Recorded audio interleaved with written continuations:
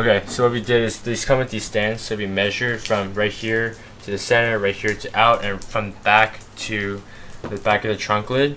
And we measured all the distances perfectly. We taped the edges of these stands, so then when we pull it off and the stands are left right here, we can find the holes right there and punch it through, and we know it's lined up. So let's go ahead and start drilling this. We didn't want to record too much because it was super, super tedious. So yeah, we can start drilling, and I'll show you guys on a time lapse.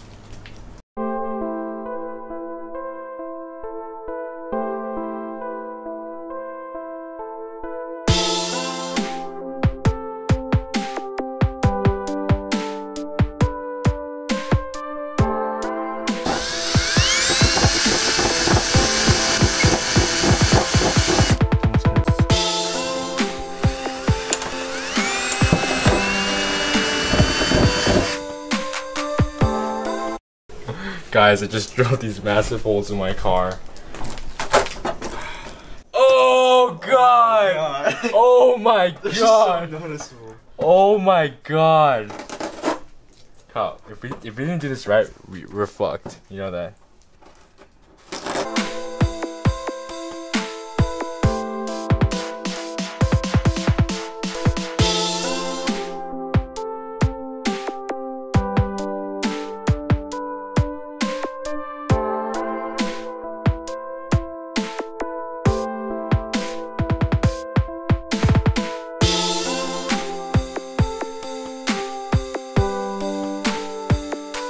Oh my god.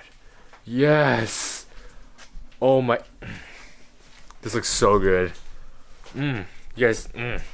Mmm. Oh, I can't wait to show you guys. Huh? Copying Evan Shanks or something?